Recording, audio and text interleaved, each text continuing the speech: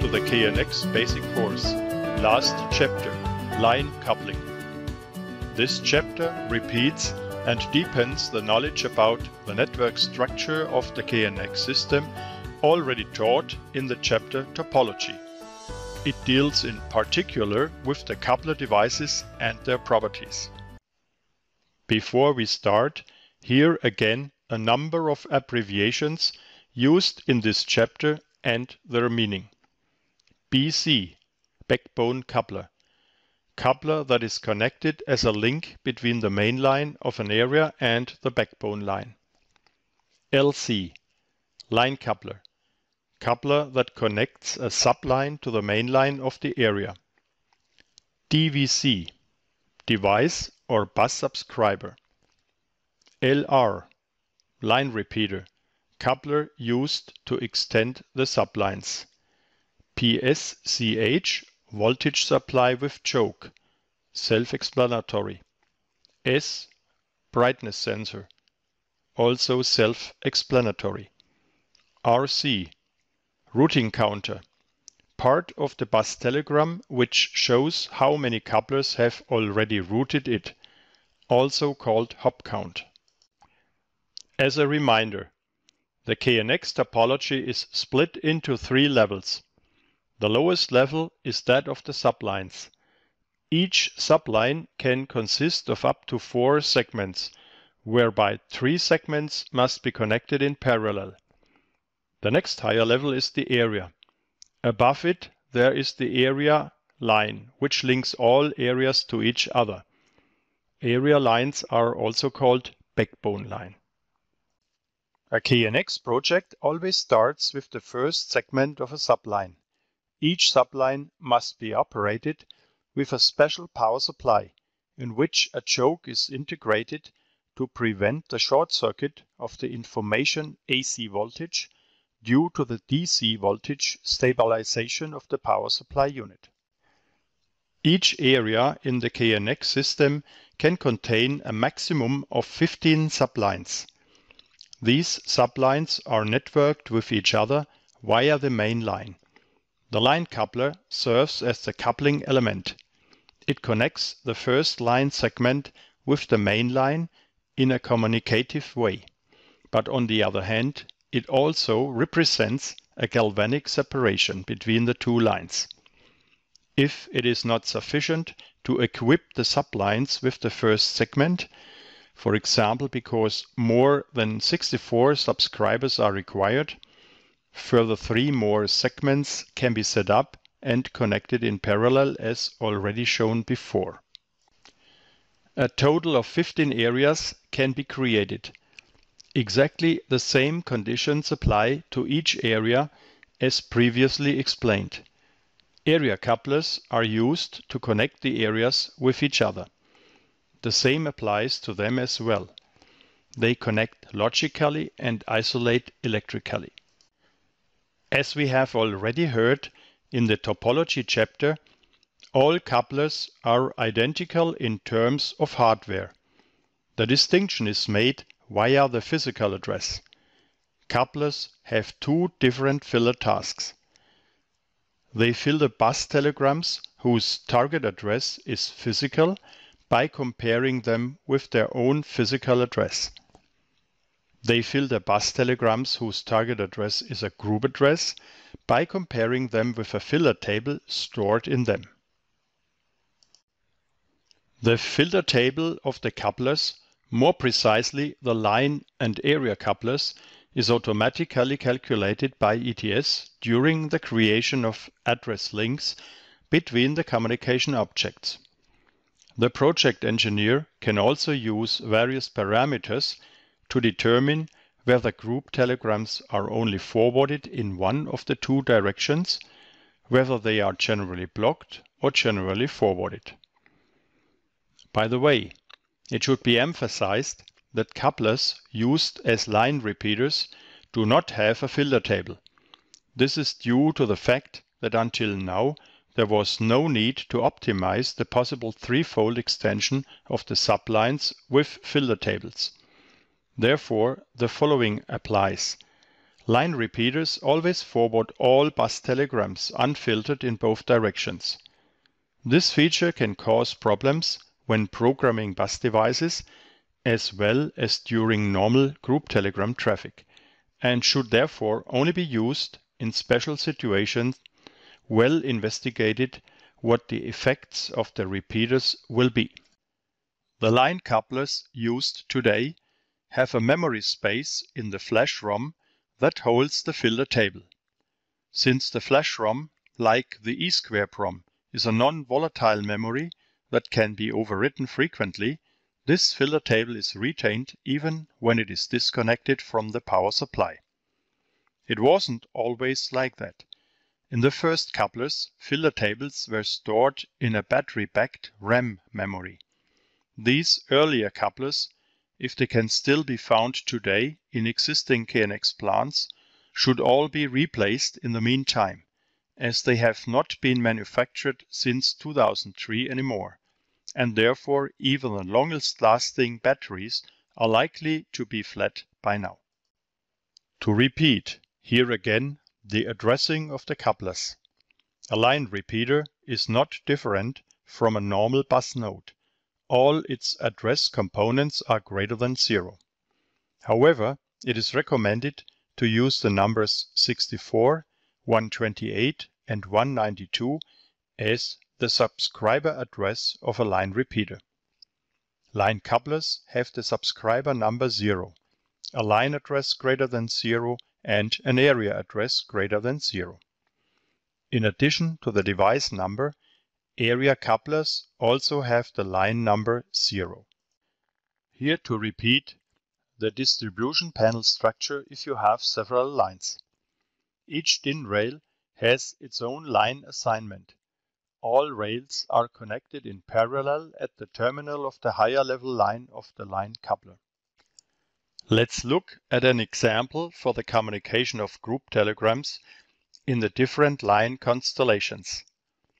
The starting point is a small project with six switching actuator channels, three per room. The three channels of each room are switched manually and centrally via a single push button. A brightness sensor automatically switches off only the window lighting, in our picture the lamps L11 and L21, when it becomes brighter than a given threshold.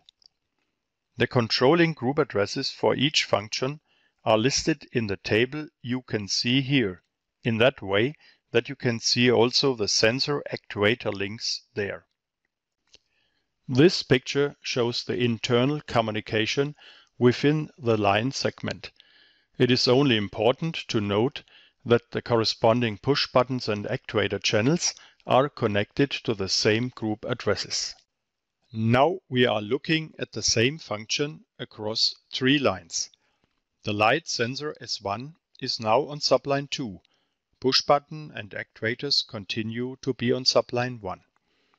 The luminaires L11 and L21 are controlled by this light sensor. Therefore, the corresponding group address 0 to 11 must be entered in the filter table of both couplers. If it is a larger building in which several areas exist, the light sensor can now be installed further away. The group address 0 to 11 must now be entered in three couplers, namely the two area couplers 1.0.0 and 2.0.0, as well as the line coupler 1.1.0. On this picture, the P1 key has also been swapped out. This means that the group address 5266 must also be entered in the filter tables of the couplers, which are located on the connection route from P1 to L111213, namely 1.1.0 and 1.2.0. Once more a word on the routing counter and its function.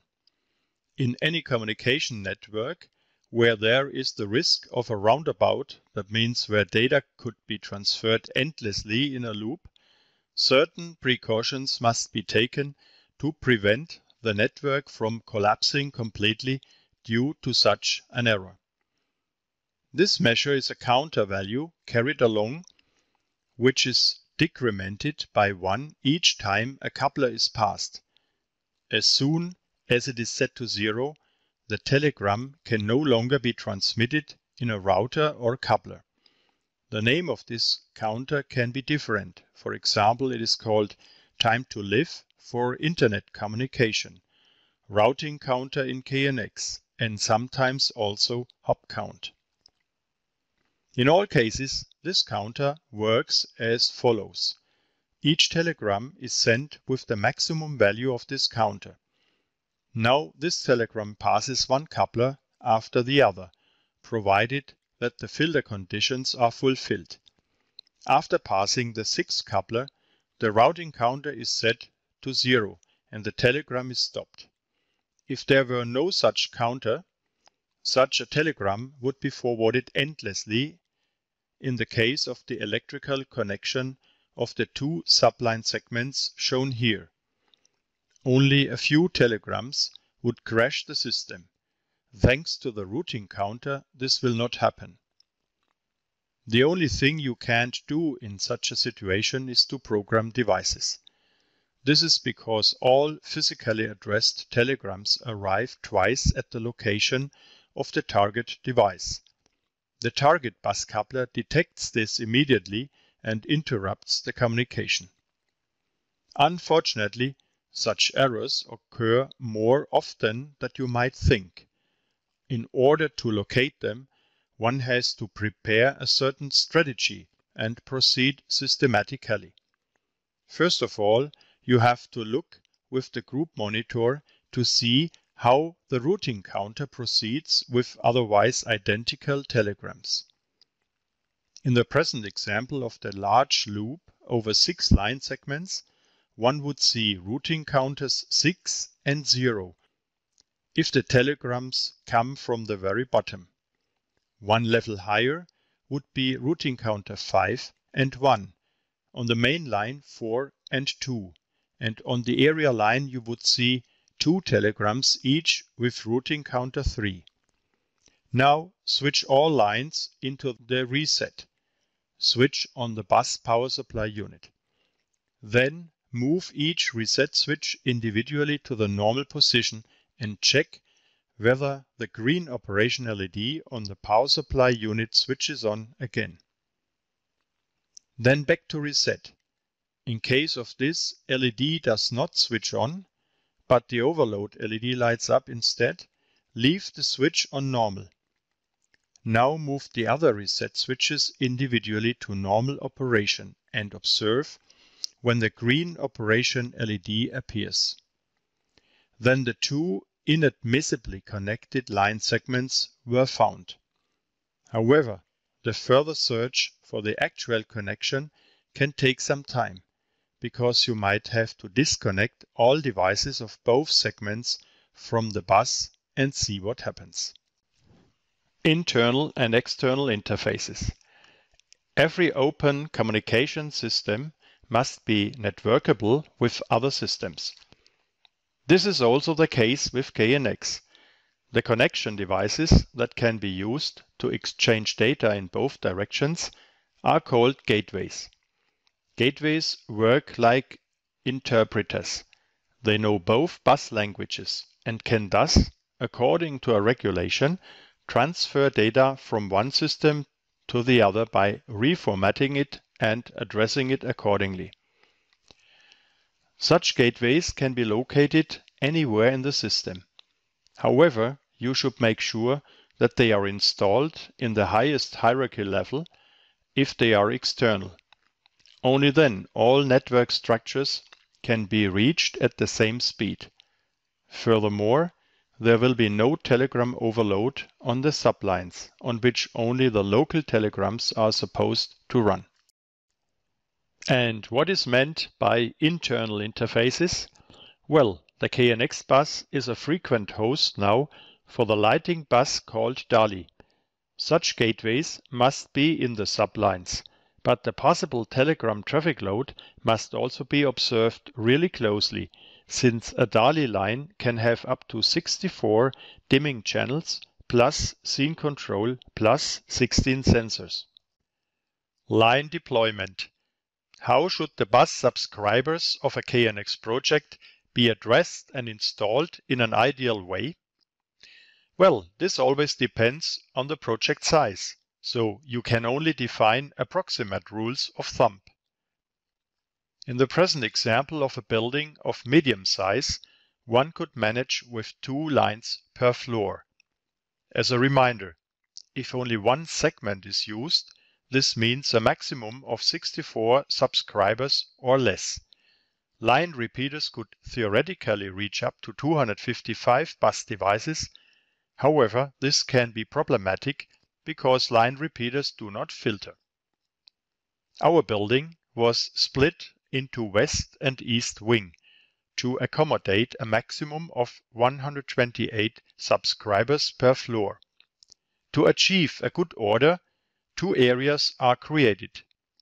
With this you can create lines corresponding to the floor numbers in each wing as 1.1 equals floor 1 west, 1.2 equals floor 2 west, 2.4 equals floor 4 east, and so on. In the classical assembly with lines and area couplers, twisted pair, twisted pair, this looks like shown on this picture. In the main distributor, the two main lines converge on area couplers 1.0.0 and 2.0.0. These two couplers are then connected via the area line. By the way, this area line also requires a power supply with built-in choke. As a result of the widespread use of Ethernet and ultimately the Internet, more and more plant operators want remote access to their KNX systems. The present example is now modified in such a way that the two area couplers disappear and are replaced by so-called IP routers in the area coupler function. This not only enables the possibility of remote connection via internet and the possibility of faster and even parallel downloads, but also faster data exchange between the areas. It is also possible to omit even the line couplers and use IP routers instead in line coupler function. Area couplers are not longer required in this case. The line crossing communication is done via the routing protocol. It uses a common group address on IP level, the multicast address. Attention Managed Switch. There are more and more managed switches, also called three-level switches. In contrast to the simple LAN switches, multicast addresses must be entered separately like in a filter table. In this structure of our sample building, all twisted pair couplers have been replaced by IP routers. Multicast this reference from the technical product information should be taken into account in every call for tenders. The correct functioning of the Siemens IP router N14602 as a line coupler KNXNet IP routing requires network components that support IP multicasting. In particular, network LAN routers must be configured so that IP multicast datagrams are forwarded. For KNXNet IP routing, the IP multicast address 224.0.23.12 has been reserved internationally for this purpose. Here is some information about the IP multicast address. Please stop the video to read it. With the information learned in this chapter, you can now proceed to perform the practical lesson for line crossing communication. The task is to control all lights in our Gamma training kit by using a push button on the main line.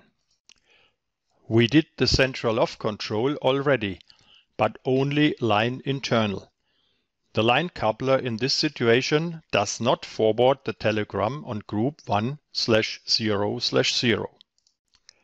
Now, there is also a push button on the main line using group address 100. The filter table of the line coupler now gets an entry on this address, so the related telegrams are forwarded in both directions. Also in a bigger network, the path for telegrams using the same target group address is probably built by ETS and transferred into the corresponding couplers filter tables. This is the same example like with the brightness sensor we have seen before. The last hint and reminder. When doing commissioning or maintenance work, always make sure to use a line-compliant local address of the interface between ETS computer and the KNX bus. In our example, that means if you connect your PC to an interface in line 1.1, the individual address of this interface must also begin with 1.1. If you do so in line 1.2, the interface must be addressed like 1.2.xxx. This is the end of the KNX system theory. Congratulations and thank you very much for your participation in this training. If you're interested now in becoming a certified KNX professional, that means to participate in a two days exam course, don't hesitate to contact me. My contact data are shown on this slide.